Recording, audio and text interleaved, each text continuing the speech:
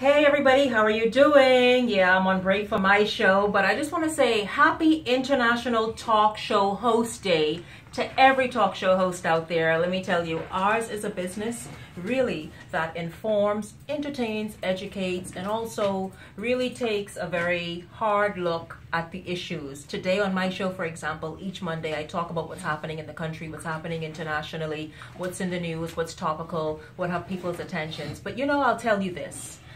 This all here, me having a show and enjoying a great measure of success here in the Bahamas, stemmed from a dream that I had in 2003. That's right, 2003.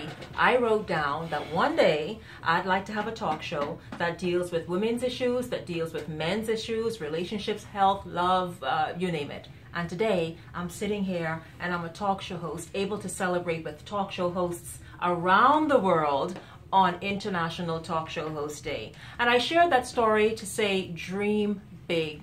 Don't give up on your dreams. Dreams do come true. You have to work at your dream though. You have to work, make it happen, take the chances, dare to step beyond the boundaries and dare to do it a little differently. And I'll tell you, you know what usually follows all of that? Success.